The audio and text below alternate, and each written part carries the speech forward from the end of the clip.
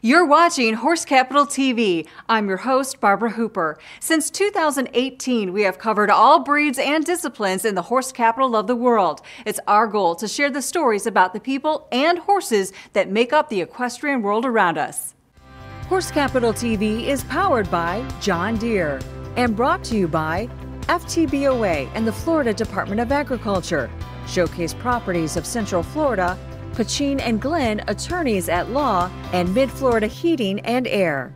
Our Breyer Fun Days are something that we do periodically, and it's just a great day for you to bring out your child and have them interact with our staff, paint a little stablemate horse, and just have a great day. Now, most occasions we have a special guest. Our special guest this time is feature Vivaldi de Besilu, absolutely magnificent horse being inducted into the Hall of Fame for Paso Finos. So he's going to be coming today to sign autographs, have his photo taken with all of the guests here. We are so excited about the turnout today.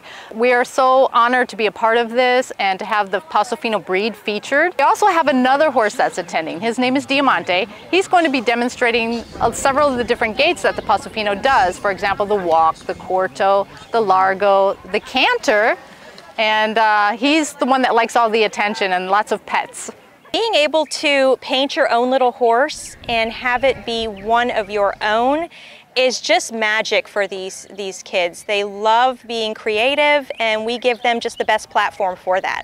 You can watch Horse Capital TV on your favorite social media platforms and smart TV apps. And if you have a story idea you'd like to share, contact us at horsecapitaltv.com. Shop Ocala Luxury at Dillard's, Market Street at Heath Brook, Ocala. Look for the truck, the big orange truck,